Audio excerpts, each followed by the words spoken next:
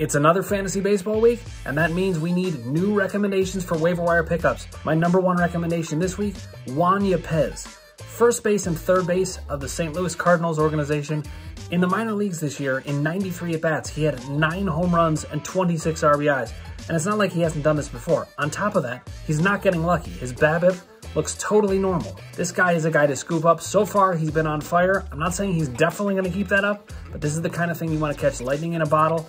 He's got some pedigree to him, uh, you know, not even from his draft status, but just from what he's done in the minors. 24 years old, pick him up now while you have the chance.